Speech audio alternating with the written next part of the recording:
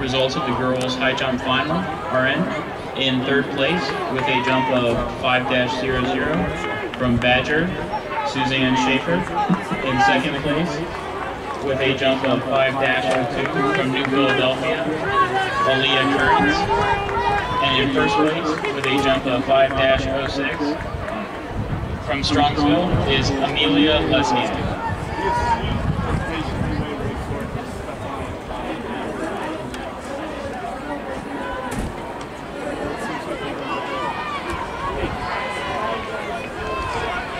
I'm